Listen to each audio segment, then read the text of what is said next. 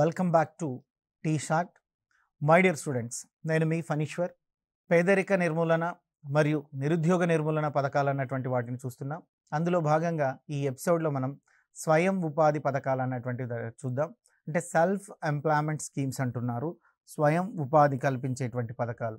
మరి స్వయం ఉపాధి కల్పించేటువంటి పథకాల్లో మనం చూసినట్లయితే ఐఆర్డిపి ఐఆర్డిపి ట్రైజమ్ డ్రాక్వా ఎండబ్ల్యూఎస్ సిత్ర ముద్ర అన్నటువంటి పథకాలను మనం స్వయం ఉపాధి పథకాల కిందకి చూస్తున్నాం. సో ఐఆర్డిపి ఒకటి ట్రైజమ్ రెండు అదేవిధంగా డ్రాక్వా మూడు తర్వాత millennium wells programme that is the MWS నాలుగు సిత్ర ఐదు ముద్ర ఆరు. ఈ ఆరు పథకాలు అన్నటువంటి పథకాలను మనం చూద్దాం ఈ ఎపిసోడ్లో. ఇందులో మొదటగా మనం డిస్కస్ చేసేటువంటిది ఏంటయ్యా అంటే ఐఆర్డిఏ సో దీన్ని యాక్చువల్గా integrated rural development programme IRDP IRDP అని ఉండాలి? దీన్ని మనం ఐఆర్డిపిని సమగ్ర గ్రామీణ అభివృద్ధి పథకంగా చెప్తున్నాం.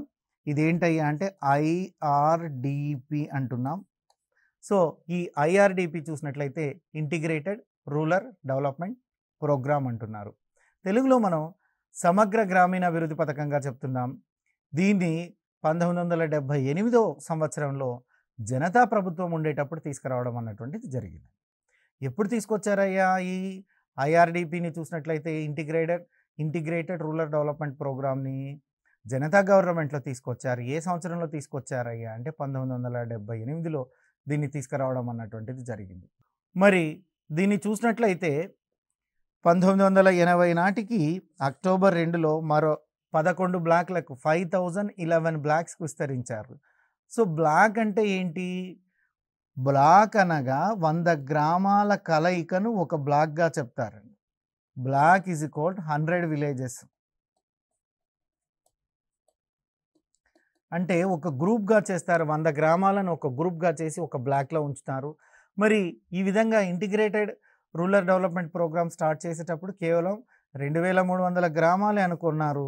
కానీ తీరా చూస్తే ఐదు వేల పదకొండు బ్లాక్లకు విస్తరించారు. అంటే రెండు వేల మూడు వందల బ్లాక్ల దగ్గర నుంచి పంతొమ్మిది వందల ఎనభై అక్టోబర్ రెండు నాటికి ఐదు వేల పదకొండు బ్లాక్లకు విస్తరించడం అన్నటువంటిది జరిగింది. మరి ఇది ఒక స్వయం ఉపాధి పథకాలు. ఈ స్వయం ఉత- ఉపాధి పథకాలకు బ్యాంకుల ద్వారా సబ్సిడీతో కూడినటువంటి రుణ సదుపాయం అందిస్తారండి. ఇక్కడ కూడా ఇది కొంచెం తప్పుపడింది. ఇక్కడ ఇది రుణ సదుపాయము రుణ సదుపాయం అన్నటువంటి దాన్ని కల్పించడం అన్నటువంటిది జరుగుతుంది. అంటే ఇక్కడ ఏం చేస్తున్నారయ్యా అంటే స్వయం ఉపాధి పథకాలు కాబట్టి సెల్ఫ్ ఎంప్లాయ్మెంట్ స్కీమ్స్ కాబట్టి బ్యాంకు ద్వారా వారికి సబ్సిడీతో కూడినటువంటి రుణాన్ని అందిస్తారు. సబ్సిడీతో కూడినటువంటి రుణ సదుపాయాన్ని కల్పించడం అన్నటువంటిది జరుగుతుంది. అంటే లోన్స్ ఇస్తారు. వాళ్ళకు లోన్స్ ఇచ్చి కొంత డబ్బు ఇచ్చి సొంతంగా వ్యాపారం పెట్టుకోండి సొంతంగా బిజినెస్ స్టార్ట్ చేసుకోండి అని లోన్ ఇస్తారండి. మరి ఇక్కడ ఎవరికి ఉద్దేశించిందయ్యా ఇది అంటే గ్రామీణ నిరుపేదలకు? గ్రామాలలో నిరుపేదలు ఎవరైతే ఉన్నారో ఆ గ్రామీణ నిరుపేదలకు స్వయం విపా ఉపాధిని కల్పించడం ద్వారా వారి ఆదాయ స్థాయిని అదేవిధంగా జీవన ప్రమాణ స్థాయిని పెంచేటట్లు చూడడం ఈ ప్రభుత్వ ఈ పథకం యొక్క ముఖ్య ఉద్దేశం. మనకి ఎగ్జామ్లో ఐఆర్డిపి యొక్క ముఖ్య ఉద్దేశం ఏంటి అని అడుగుతారు. ఇంటిగ్రేటెడ్ రూరల్ డెవలప్మెంట్ ప్రోగ్రామ్ యొక్క ముఖ్య ఉద్దేశం ఏంటయ్యా అంటే గ్రామీణ పేదలకు స్వయం ఉపాధిని కల్పించుట ఇది ఒకటి ఫస్ట్ వన్. తద్వారా అంటే దాని ద్వారా గ్రామీణ ప్రాంతాల్లో నివసించేటువంటి నిరుపేదల ఆదాయ స్థాయిని పెంచటం. రెండో లక్ష్యం ఏంటంటే ఆదాయ స్థాయిని. ఒకటేమో ఉపాధి కల్పించాలా? రెండవదేమో ఆదాయ స్థాయిని పెంచాలా? మూడోది ఏంటయ్యా అంటే జీవన ప్రమాణ స్థాయిని కూడా పెంచాలి. మూడోది ఏంటయ్యా అంటే జీవన ప్రమాణ స్థాయిని కూడా పెరిగేటట్టుగా చూడడం. ఈ మూడు అన్నటువంటి ఉద్దేశాలతో ఈ పథకం అన్నటువంటిది స్టార్ట్ చేయబడింది. ఈ పథకం యొక్క ఉద్దేశాలు ఏంటయ్యా అంటే గ్రామీణ పేదలకు స్వయం ఉపాధిని కల్పించడం తద్వారా ఆదాయ స్థాయిని జీవన ప్రమాణ స్థాయిని పెరిగేలా చూడటం అన్నటువంటిది ఈ పథకం యొక్క ముఖ్య ఉద్దేశము. మరి ఈ పథకం ద్వారా చూసినట్లయితే ఏం చేస్తారయ్యా అంటే గ్రామాల్లో పేదవారిని గుర్తించి వారికి నచ్చిన వృత్తిని ఎంపిక చేసుకునేటువంటి అవకాశాన్ని ప్రభుత్వం ఇస్తుంది. అంటే పేదవారిని గుర్తిస్తారు వారికి నచ్చినటువంటి వృత్తిని సెలెక్ట్ చేసుకోవచ్చు. ఆ వృత్తికి కావాల్సినటువంటి ఉత్పాదకాలు ఏవైతే ఉన్నాయో ఆ వృత్తికి కావాల్సినటువంటి ఉత్పాదకాలు కావచ్చు పనిముట్లు కావచ్చు మొదలైనవి సబ్సిడీతో కూడినటువంటి లోన్ ఇస్తారు. అంటే సబ్సిడీ రేట్లతో వాటిని ఆ సదరు నిరుపేదలు ఎవరైతే ఉన్నారో ఆ నిరుపేదలకు అందించడం అన్నటువంటిది జరుగుతుంది. ఇది ఈ పథకంలో భాగంగా జరిగేది. సో ఈ పథకంలో భాగంగా ఏం జరుగుతుందయ్యా అంటే సో పేదవారిని గుర్తించి గ్రామాలలో పేదవారిని గుర్తి గుర్తించి వారికి నచ్చినటువంటి వృత్తిని ఎంపిక చేసుకునేటువంటి అవకాశం ప్రభుత్వం ఇందులో కనిపించింది. దాంతోపాటుగా వారికి కావాల్సినటువంటి ఉత్పాదకాలను ఆ ఉత్పాదకాలు ఏవైతే ఉన్నాయో వాటికి సబ్సిడీ ధరలను అందించడం కూడా జరుగుతూ ఉంది. ఇక రెండవ దాన్ని చూసినట్లయితే ట్రైజం అంటున్నారు. ఈ ట్రైజం అన్నటువంటిది కూడా పంతొమ్మిది వందల డెబ్భై తొమ్మిదిలో జనతా ప్రభుత్వమే తీసుకొచ్చింది. పంతొమ్మిది వందల డెబ్భై ఎనిమిది నుండి పంతొమ్మిది వందల ఎనభై మధ్య కాలంలో జనతా ప్రభుత్వం ఉంది. జనతా ప్రభుత్వం అన్నటువంటిది ఉంది. మరి జనతా ప్రభుత్వం తీసుకొచ్చినటువంటి పథకమే ట్రైజం. ట్రైజం అంటే ఏంటయ్యా అంటే training for rural youth and self employment. Training for rural youth and self employment. ఈ training for rural youth and self employment programme చూసినట్లయితే పేదరిక రేఖకు దిగువనుండేటువంటి పద్దెనిమిది నుంచి ముప్పై ఐదు సంవత్సరాలు కలిగినటువంటి గ్రామీణ యువతకు స్టైఫెండ్తో కూడినటువంటి శిక్షణ ఇస్తారు. శిక్షణ ఇస్తారండి. తర్ఫీదు ఇస్తారు ట్రైనింగ్ ఇస్తారు. ఆ ట్రైనింగ్ పీరియడ్లో కొంత స్టైఫెండ్ కూడా ఇవ్వడం జరుగుతుంది. అయితే ఎవరికి ఎలిజిబుల్? పద్దెనిమిది నుంచి ముప్పై ఐదు సంవత్సరాలు ఉండేటువంటి వారు. సో పద్దెనిమిది నుంచి ముప్పై ఐదు సంవత్సరాలు ఉండేటువంటి వారు ఎలిజిబుల్ అవుతారండి. ఇక దీన్ని చూసినట్లయితే మనం ఎయిటీన్ టు థర్టీన్ ఇయర్స్ మధ్య వయసు కలిగినటువంటి గ్రామీణ యువకులకు సో సెల్ఫ్ ఎంప్లాయ్మెంట్లో శిక్షణ అంటే స్వయం ఉపాధిలో శిక్షణ ఇచ్చేటువంటి కార్యక్రమం అండి. శిక్షణ చేయడమే కాదండి వారికి రుణ సౌకర్యాన్ని కూడా కల్పిస్తున్నారు. శిక్షణతో పాటుగా శిక్షణనిస్తారు. శిక్షణతో పాటుగా వారికి రుణ సౌకర్యాన్ని కూడా కల్పించడం అన్నటువంటిది జరుగుతుంది ఇక డిఆర్డిఏ ద్వారా సబ్సిడీతో కూడినటువంటి రుణ సదుపాయం కల్పిస్తారండి. ఈ డిఆర్డిఏ అంటే ఏంటంటే డిస్టిక్ రూరల్ డెవలప్మెంట్ అథారిటీ అన్నటువంటిది ప్రతి జిల్లాలో ఒకటి ఉంటుందండి. So district rural development authority. Development authority. దీన్నే మనం ఏం చెప్తున్నామయ్యా అంటే జిల్లా గ్రామీణ అభివృద్ధి. సో శాఖగా చెప్తున్నాం. సో జిల్లా గ్రామీణ అభివృద్ధి సంస్థ అని మనం చెప్తున్నాం డిస్టిక్ రూరల్ డెవలప్మెంట్ అథారిటీ. ఈ డిస్టిక్ రూరల్ డెవలప్మెంట్ అథారిటీ వారే సబ్సిడీతో కూడినటువంటి రుణ సదుపాయాన్ని కల్పిస్తారు. అంటే ప్రభుత్వమే సెలెక్ట్ చేస్తుంది. పద్దెనిమిది నుంచి ముప్పై ఐదు సంవత్సరాలు ఉండేటువంటి యువకులను స్టైఫెండ్తో కూడినటువంటి శిక్షణ ఇస్తుంది.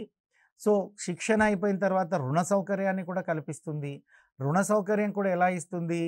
డిఆర్డిఏ ద్వారా సబ్సిడీతో ఉండేటువంటి రుణాన్ని కూడా ఇవ్వడం అన్నటువంటిది జరుగుతుంది. మరి సబ్సిడీతో రుణం ఇచ్చి వారికి అంటే స్వయం ఉపాధికి సెల్ఫ్ సెల్ఫ్ ఎంప్లాయ్మెంట్ కింద వారికి షాప్స్ పెట్టించడము వ్యాపారాన్ని పెట్టించడము మొదలగు అంశాలను అన్నింటినీ చేస్తుందండి. మరి దీన్ని ఇది కూడా చూసినట్లయితే ఇంటిగ్రేటెడ్ రూరల్ డెవలప్మెంట్ ప్రోగ్రాంలో భాగంగానే ఐఆర్డిపికి అనుసంధంగానే ట్రైజం కూడా ఏర్పాటు చేయడం అన్నటువంటిది జరిగింది. ట్రైజం అనేటువంటిది కూడా ఐఆర్డిపికి అనుసంధంగానే ఏర్పాటు చేయడం అన్నటువంటిది జరిగింది. ఇక ట్రైజము ఏ సంవత్సరం నుంచి ఎప్పుడు ఏర్పాటు చేశారయ్యా అంటే ఇది ట్రైజము డెబ్భై తొమ్మిదిలో పంతొమ్మిది వందల డెబ్భై తొమ్మిదిలో ఏర్పాటు అయినప్పటికీ పంతొమ్మిది వందల తొంభై తొమ్మిది ఏప్రిల్ ఒకటిన స్వర్ణ జయంతి గ్రామీణ స్వరోజ్గార్ యోజనలో విలీనం చేయడం జరిగింది. ట్రైజాన్ని ఎందులో విలీనం చేశారయ్యా? స్వర్ణ జయంతి గ్రామీణ స్వరాజ్గార్ యోజన అనేటువంటి పథకంలో విలీనం చేయడం అన్నటువంటి జరిగింది. ఎప్పుడు విలీనం చేశారు? పంతొమ్మిది వందల తొంభై తొమ్మిది ఏప్రిల్ ఒకటిన ట్రైజంను స్వర్ణ జయంతి గ్రామీణ స్వరాజ్గార్ యోజన అనేటువంటి పథకంలో విలీనం చేయడం అన్నటువంటిది జరిగింది. ఇక దాని తర్వాత చూసినట్లయితే డ్వాక్రా అంటున్నారు. ఈ డ్వాక్రా development of women and children in rural areas అని చెప్తారు. DWCRA DWCRA development of women and children in rural areas అంటున్నారు. దీన్ని పంతొమ్మిది వందల ఎనభై రెండవ సంవత్సరంలో తీసుకురావడం అన్నటువంటిది జరిగింది. మరి ఇదిలో కూడా ఐఆర్డిపిలో అంతర్భాగంగా ప్రారంభించారు. ఇందులో twenty to twenty five percentage ఇక్కడ ట్వంటీ అనే ఉంది కానీ twenty to twenty five percentage మధ్య యునిసెఫ్ అనేటువంటి వారు యునిసెఫ్ ఇది ఐక్యరాజ్య సమితిలో ఉండేటువంటి యునిసెఫ్ వారు నిధులను సహాయంగా కల్పించడం అనేది జరిగింది. సో అంటే twenty to twenty five percentage కొన్ని పుస్తకాలు ఇరవై శాతం అని ఉంటుంది తప్పులేదు ఇరవై ఐదు శాతం అని కూడా కొన్ని పుస్తకాల్లో తప్పు లేదు. ఎగ్జాక్ట్లీ ఆ రోజు వాళ్ళ ఒప్పందం ఏంటంటే twenty to twenty five percentage మధ్యలో. మ్యాక్సిమం ట్వంటీ ఫైవ్ పర్సెంటేజ్ వరకు మేము ఇవ్వగలము అని యునిసెఫ్ వారు ఈ పథకానికి ముందుగా వచ్చారు. మరి సో యునైటెడ్ నేషన్స్లో ఉంటుంది. ఆ యునైటెడ్ నేషన్స్లో ఉండేటువంటి యూనిసెఫ్ సంస్థ వారు ఇచ్చినటువంటి దాని twenty to twenty five percentage మిగిలిన నిధులను మన కేంద్ర రాష్ట్ర ప్రభుత్వాలు ఫిఫ్టీ ఈస్ టు ఫిఫ్టీగా పంచుకోవడం అన్నటువంటిది జరుగుతుంది. కేంద్ర రాష్ట్ర ప్రభుత్వాలు ఎంత శాతం పంచుకుంటున్నాయంటే ఫిఫ్టీ ఈస్ టు ఫిఫ్టీగా నిధులను పంచుకోవడం జరుగుతుంది. ఇక ఐఆర్డిపి డ్వాక్వా రెండు కలిపి ఏప్రిల్ ఒకటిన ఎస్జిఆర్వైలో వి విలీనం చేయడం అన్నటువంటిది జరిగింది. అంటే ఈ డ్రాక్వాన్కు కూడా తొంభై తొమ్మిదిలో ఎస్జిఎస్వైలో విలీనం చేయడం అన్నటువంటిది జరిగింది.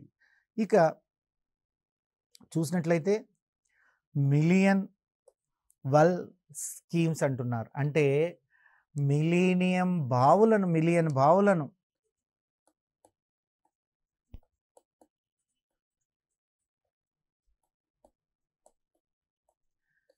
మిలియన్ బావులను తవ్వించేటువంటి పథకం.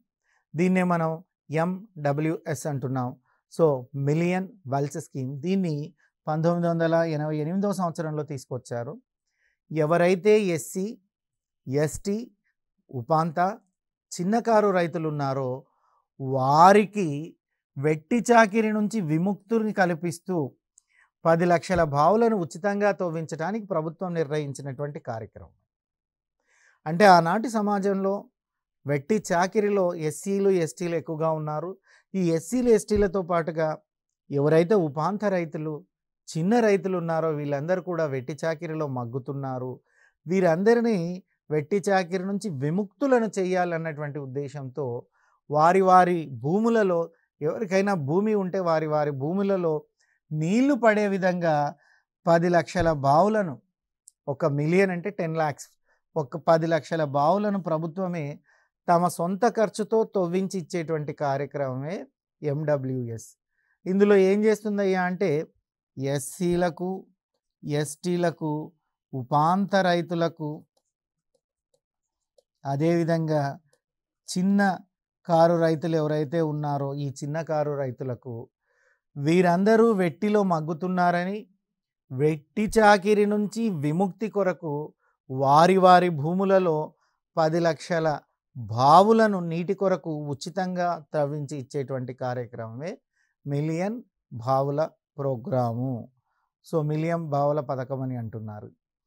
ఇక దీని తర్వాత చూసినట్లయితే సిత్ర దీని తర్వాత మనం చూసినట్లయితే SITRA supply of improved tool kits to rural artisans. ఇక్కడ ఇవి ఏవైతే కుల వృత్తులు ఉన్నాయో ఆ కుల వృత్తులకు సంబంధించినటువంటి టూల్కు టూల్ కిట్స్. అంటే ఆ పనిముట్ల యొక్క కిట్ ఏదైతే ఉందో ఆ పనిముట్ల పెట్టెను వారికి ఇవ్వడం అన్నటువంటిది జరుగుతుందండి. ఇది కూడా integrated rural development authority. So ఇదే ఐఆర్డిఏలో భాగంగానే దీన్ని తీసుకురావడం అంటూ జరుగుతుంది. గ్రామీణ ప్రాంతాల్లో ఉన్న పదమూడు శాతం వృత్తుల వారికి. సో ఈ గ్రామీణ ప్రాంతంలో పదమూడు శాతం ఎవరైతే కుల వృత్తుల వారి ఉన్నారో ఆ కుల కుల వృత్తుల వారికి సంబంధించి సంక్షేమం కోసము వారికి అయ్యేటువంటి ఆధునిక పరికరాలను అందజేసేటువంటి కార్యక్రమం. వారికి అయ్యేటువంటి ఆధునిక పరికరాలను అందజేసేటువంటి కార్యక్రమమే చిత్ర దీన్ని పంతొమ్మిది వందల తొంభై తొమ్మిదిలో ఎస్జిఎస్వైలో విలీనం చేయడం అన్నటువంటిది జరిగింది. ఈ చిత్రాను పంతొమ్మిది వందల తొంభై తొమ్మిదిలో ఎస్జిఎస్వైలో విలీనం చేయడం అన్నటువంటిది జరిగింది. ఇది సిత్రా కథ. పథకం ఎందుకు వచ్చిందంటే supply of improved tool kits to rural assistants అంటారు. అంటే గ్రామీణ ప్రాంతాలలో కుల వృత్తులు నిర్ణయించే కుల వృత్తులను చేసేటువంటి వారికి వారి కుల వృత్తికి అవసరమైనటువంటి ఆధునిక పరికరాలను అందించేటువంటి కార్యక్రమం. ఆధునిక పరిక్రమలు ఇది ఎప్పుడు స్టార్ట్ చేశారయ్యా అంటే పంతొమ్మిది వందల తొంభై రెండు జూలైలో దీన్ని ప్రారంభించడం అన్నటువంటిది జరిగింది. చివరిగా ఇది ఎందులో విలీనమైందయ్యా అంటే పంతొమ్మిది వందల తొంభై తొమ్మిది ఎస్జిఎస్వైలో విలీనం చేయడం అన్నటువంటిది జరిగింది.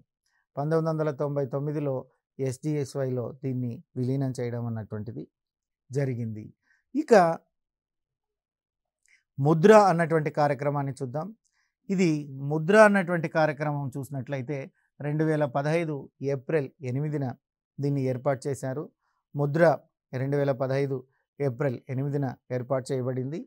Micro units development and refinance agency అంటారు micro unit development unit developments and refinancial agency MUDRA అన్నటువంటిది ఒక రీఫైనాన్షియల్ ఏజెన్సీ ఇది ఒక బ్యాంక్ అండి. ఈ ముద్ర కార్యక్రమాన్ని రెండు వేల పదహైదు ఏప్రిల్ ఎనిమిదిన ఢిల్లీలో ప్రారంభించడం జరిగింది.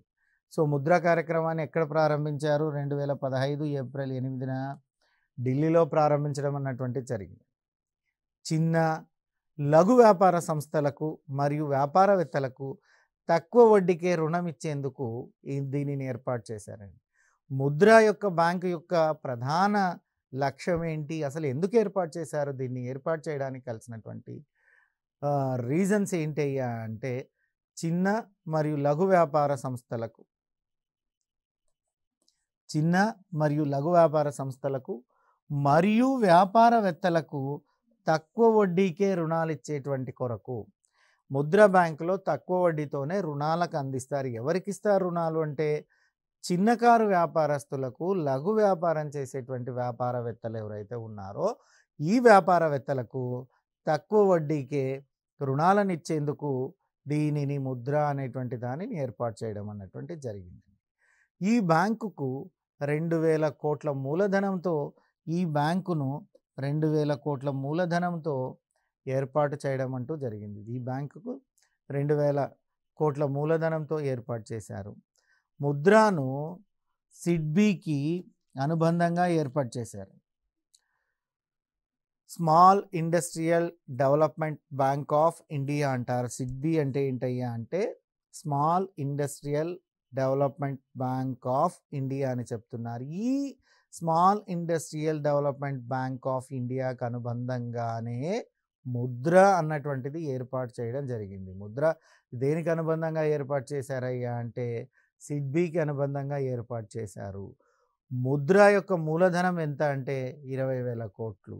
ముద్ర యొక్క ముఖ్య ఉద్దేశం ఏంటి? ఎందుకు ఏర్పాటు చేశారయ్యా అంటే చిన్న లఘు వ్యాపార సంస్థలు మరియు వ్యాపారవేత్తలకు తక్కువ వడ్డీకే రుణాలను అందించేటువంటి అవసరం కొరకు రుణాలను అందించడానికి దీనిని ఏర్పాటు చేయడం అన్నటువంటిది జరిగింది. ఇక అదేవిధంగా మనం చూసినట్లయితే ఈ దీన్ని ముద్రను రెండు వేల పదహైదు ఏప్రిల్ ఎనిమిదిన ఢిల్లీలో ప్రారంభించడం అన్నటువంటిది జరిగింది.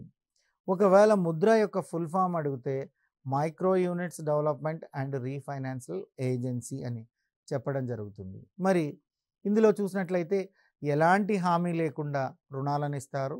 సో వారికి ఏడు శాతం వడ్డీ వర్తించే విధంగా ముద్ర రీఫైనాన్సింగ్ చేస్తుంది ఎలాంటి హామీ లేకుండా రుణాలు ఇచ్చినటువంటి వారికి సో ఎలాంటి హామీ లేకుండా రుణాలు ఇచ్చిన వారికి ఏడు శాతం వడ్డీ వర్తించేటువంటి విధంగా ముద్ర రీఫైనాన్స్ చేస్తుంది. ఏడు శాతం వడ్డీ వచ్చేటువంటి విధంగా వర్తించేటువంటి విధంగా రీఫైనాన్స్ అంటే తిరిగి ఇస్తుంది అని అర్థం అండి.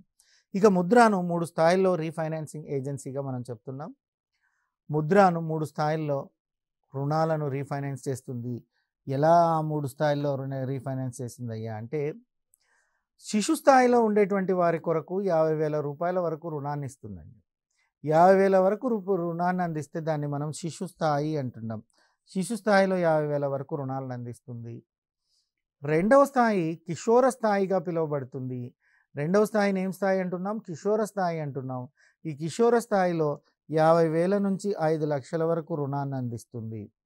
కిషోర స్థాయిలో యాభై వేల నుంచి ఐదు లక్షల వరకు రుణాన్ని అందించడం అన్నటువంటిది జరుగుతుంది.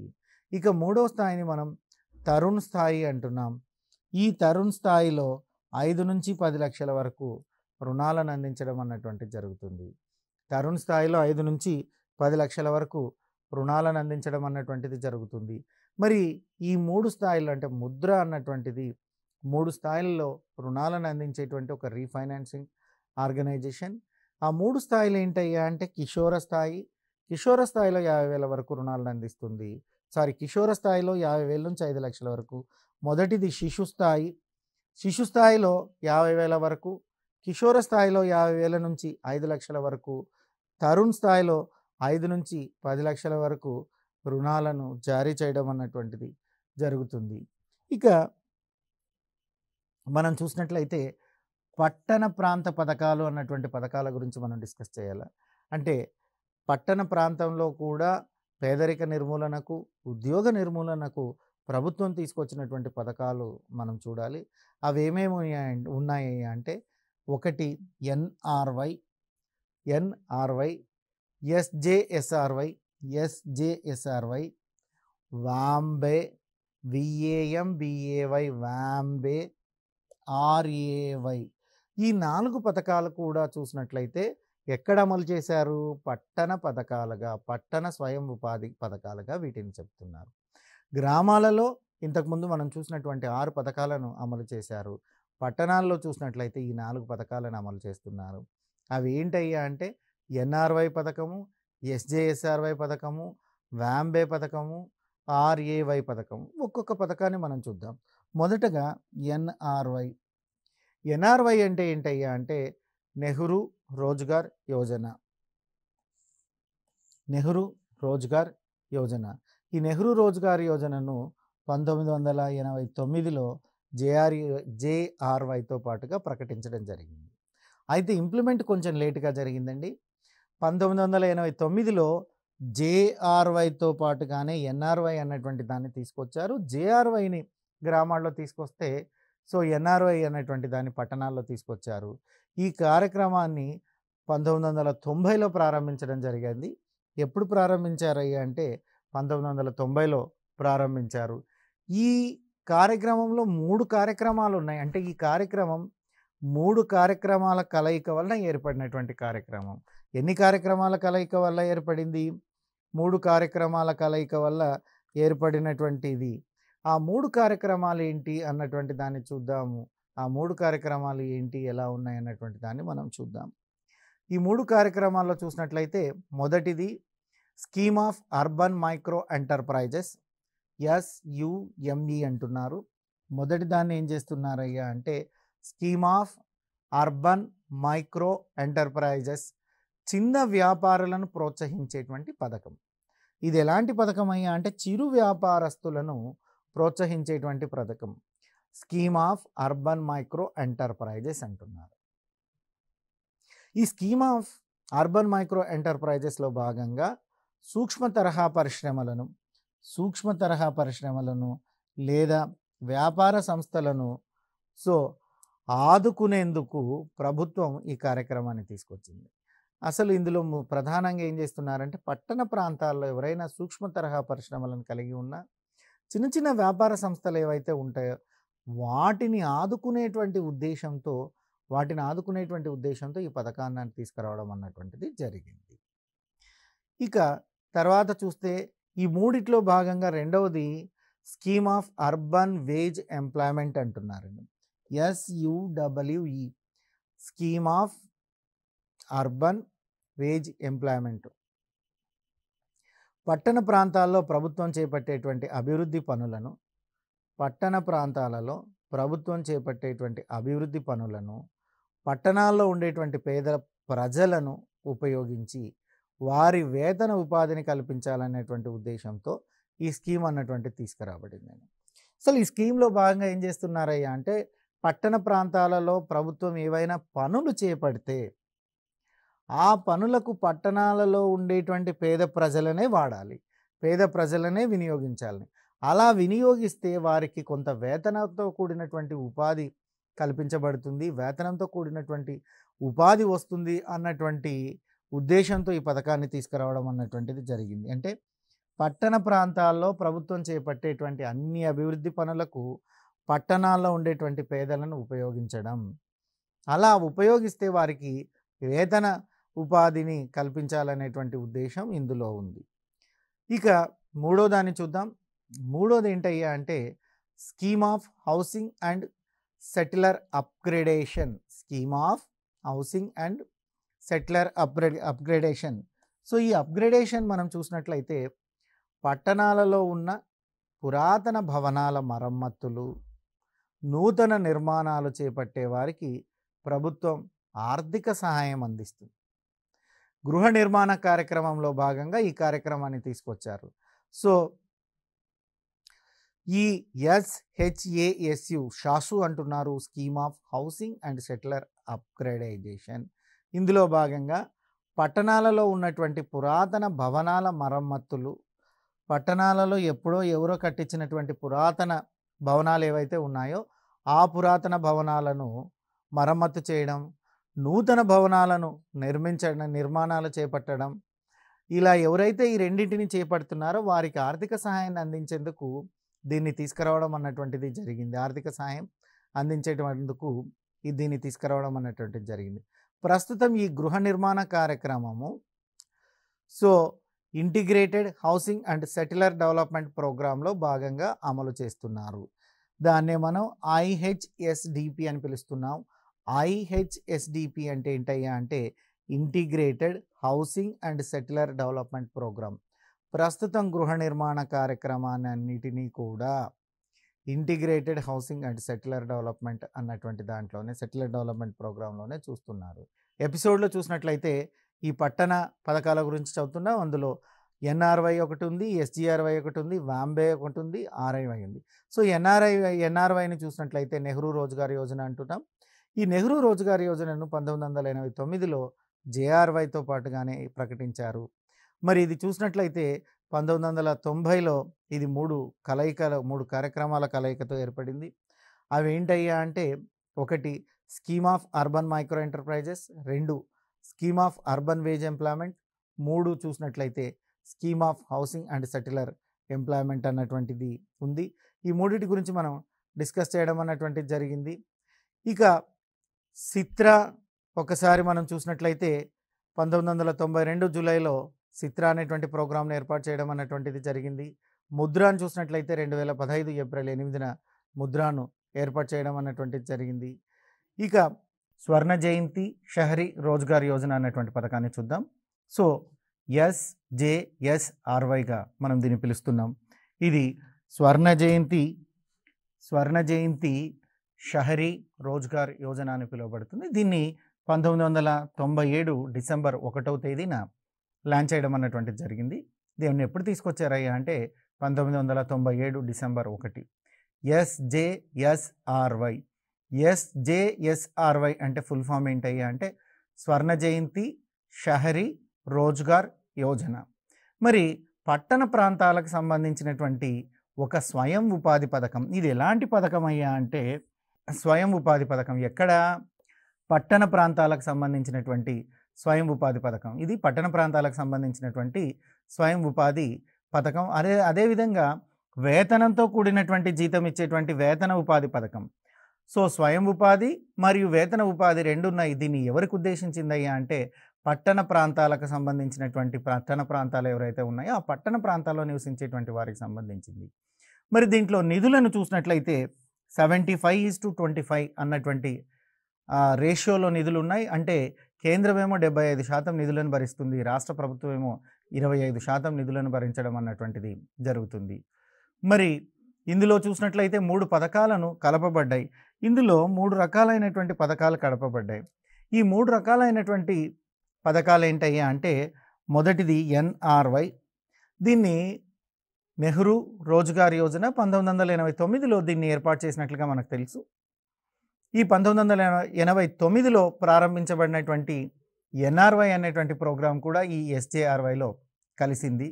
అదేవిధంగా పంతొమ్మిది వందల తొంభై తొంభై ఒకటిలో ప్రారంభించబడినటువంటి యూబిఎస్పి అనేటువంటి ప్రోగ్రాం తొంభై ఐదులో ప్రారంభించబడినటువంటి పిఎంఐ యూపీఈపి అన్నటువంటిది ఈ మూడు ప్రోగ్రామ్స్ కలయిక వల్లనే ఎస్జేఆర్వై అనేటువంటి పథకం ఏర్పాటు చేయడం అన్నటువంటి జరిగింది. అంటే ఈ ఎస్జేఆర్వై పథకంలో ఏమేమి కలిసి ఉన్నాయి అంటే ఎన్ఆర్వై యూబిఎస్పి పిఎంఐ యూపీఈపి అనేటువంటి పథకాలు ఉన్నాయి. ఈ పథకానికి అనుబంధంగా మూడు పథకాలను కూడా మళ్ళీ అమలు చేయడం అన్నటువంటి జరుగుతుంది. దీనికి అనుబంధంగా ఒక మూడు పథకాలను అమలు చేయడం అన్నటువంటి జరుగుతుంది. వాటిని ఒకసారి మనం చూద్దాం. ఇందులో అమలు చేయబడుతున్నటువంటి ప్ర పథకాలు ఏంటయ్యా అంటే అర్బన్ సెల్ఫ్ ఎంప్లాయ్మెంట్ ప్రోగ్రామ్. ఇందులో భాగంగా చేయబడుతున్నది ఏంటంటే అంటే urban self employment programme USEP అంటున్నారు. Urban self employment programme. ఆ తర్వాత చూసినట్లయితే urban wage employment programme urban wage employment programme. ఇక మూడోది చూసినట్లయితే development of women and childrens in urban area.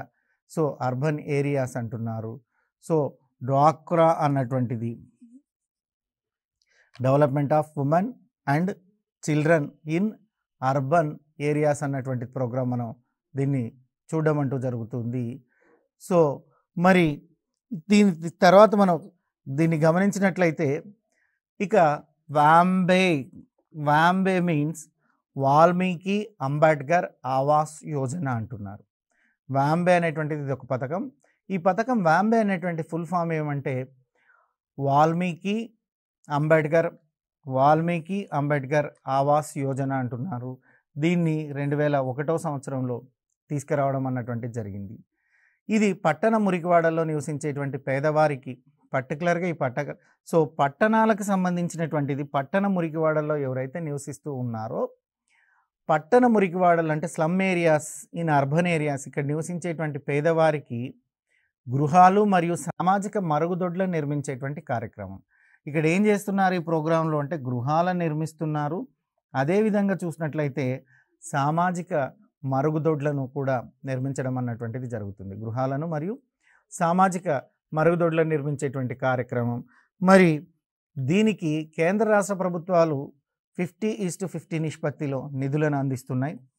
వీటికి కేంద్ర రాష్ట్ర ప్రభుత్వాలు చూసినట్లయితే ఫిఫ్టీ ఈస్ట్ ఫిఫ్టీ నిష్పత్తిలో నిధులను అందించడం అన్నటువంటిది జరుగుతూ ఉంది ఇక వీటినే నిర్మల్ భారత్ అభియాన్ యోజనలో భాగంగా అమలు చేస్తున్నారు. ఎందులో భాగంగా అమలు చేస్తున్నారయ్యా అంటే నిర్మల్ భారత్ అభియాన్ అన్నటువంటి దాంట్లో భాగంగా అమలు చేయడం అన్నటువంటి జరుగుతుంది. దీన్నే నిర్మల్ భారత్ అభియాన్లో భాగంగా అమలు చేయడం అనేటువంటి జరిగింది. ఇక దీనిని రెండు వేల ఐదులో Jawaharlal Nehru national urban rural మిషన్గా మార్చడం అన్నటువంటి జరిగింది. సో ఈ వాంబే హౌస్ ఏదైతే టూ థౌజండ్ వన్లో వచ్చిందో సో వాల్మీకి అంబేద్కర్ ఆవాస్ యోజన అనేటువంటి ఈ యాంబేని రెండు వందల ఐదో సంవత్సరంలో చూసినట్లయితే జన్నారం అన్నటువంటి ప్రోగ్రామ్ని స్టార్ట్ చేసి జన్నారంలో ఈ ప్రోగ్రామ్ని కలపడం అన్నటువంటిది జరిగింది. సో జన్నారం అంటే ఏంటంటే Jawaharlal Nehru national urban renewal mission అంటున్నారు. It is one of the mission renewal చేసుకో so Jawaharlal Nehru national urban renewal మిషన్లో భాగంగా వాంబే హౌస్ని మార్చడం జరిగింది. అంటే వాంబే హౌస్ని జనారంలో కలిపేశారు. జనారంగా మార్చడం అన్నటువంటిది జరిగింది. ఇకపోతే సో రాజీవ్ ఆవాస్ యోజన రాజీవ్ ఆవాస్ యోజన దీన్ని రెండు వేల పదకొండు జూన్లో తీసుకొని రావడం అన్నటువంటిది జరిగింది. రావి రాజీవ్ ఆవాస్ యోజన ఎంపిక చేయబడినటువంటి యాభై పట్టణాలలో పేదలకు గృహ వసతి కల్పించడానికి ఉద్దేశించిన కార్యక్రమం.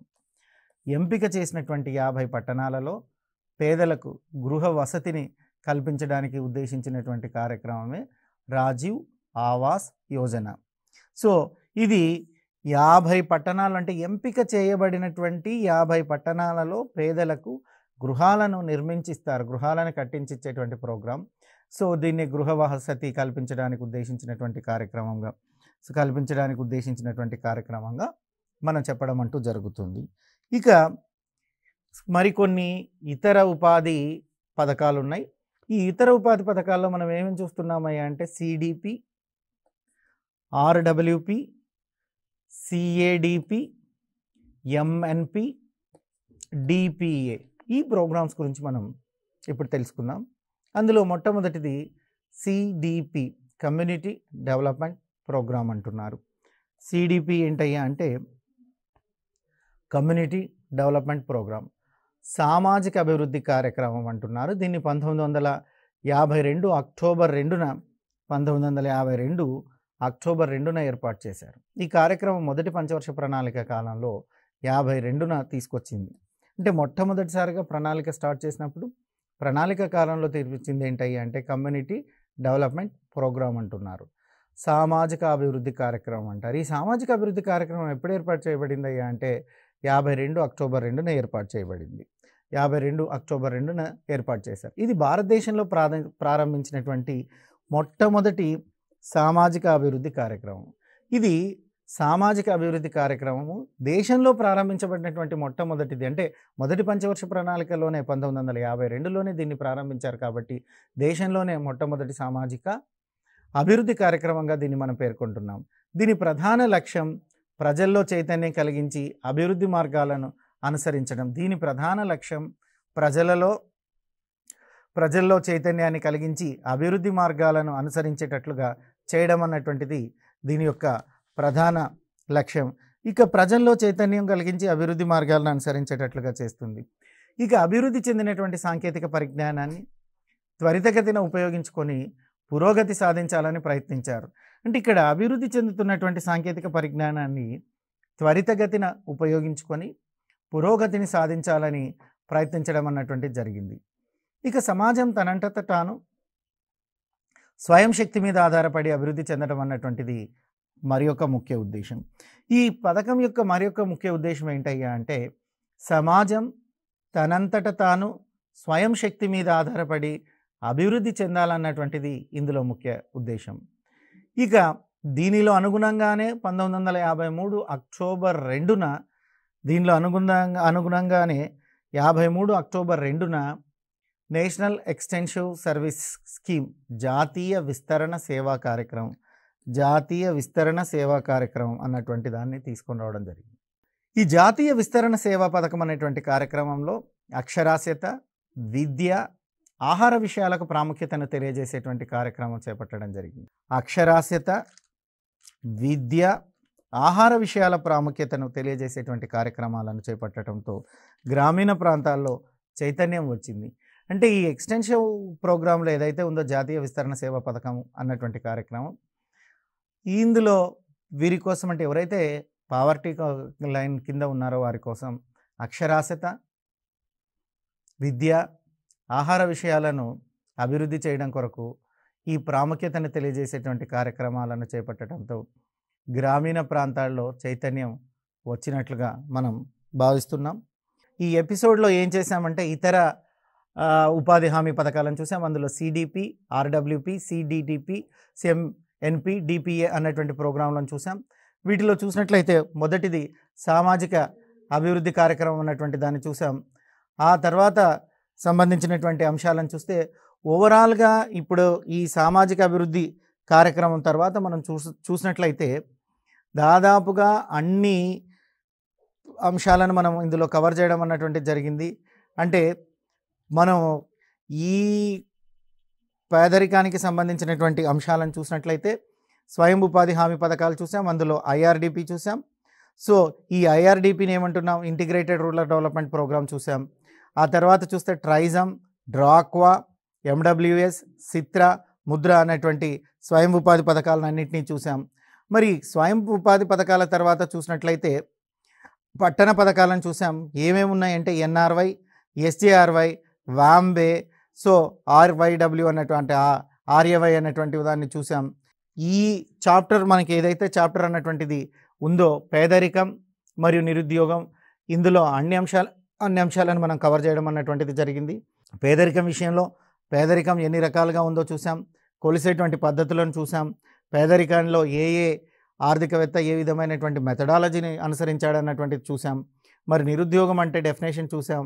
So international labour org labour organisation వాళ్ళు ఏమి ఇచ్చారన్నటువంటి దాన్ని చూసాం. మరి నిరుద్యోగ రకాలను చర్చించాం. అభివృద్ధి చెందుతున్నటువంటి భారతదేశంలో ఎలాంటి నిరుద్యోగ రకాలు ఉన్నాయో చూసాం. ఇకపోతే భారతదేశం అమలు చేసినటువంటి పేదరిక నిర్మూలన మరియు నిరుద్యోగ పథకాలు అన్నటువంటి పథకాలను చూసాం. మనం దాదాపుగా అన్ని అంశాలను కవర్ చేయడం అన్నటువంటిది జరిగింది. నెక్స్ట్ ఎపిసోడ్లో మరొక చాప్టర్ అన్నటువంటి చాప్టర్ గురించి మనం చర్చించుకుందాం.